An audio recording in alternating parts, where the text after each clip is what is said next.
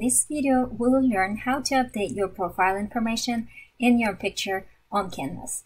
Throughout the course, you'll participate in numerous discussion forums, and having the picture along with the post helps build a sense of a connection and community, which is so important in the online course. Here's how you do it. First, of course, you need to log into your Canvas.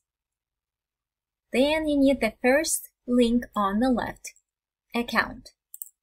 Click on the account. The second tab is Profile. Click on Profile. Click on Edit Profile to add your biography, your hobbies, education, interest, your major. To edit the profile picture, click on Change the profile picture. You can upload a picture, take a picture, or post the avatar from the Gravatar. I prefer you upload your picture or take your picture. When you're ready, click Save Profile and you're all good to go.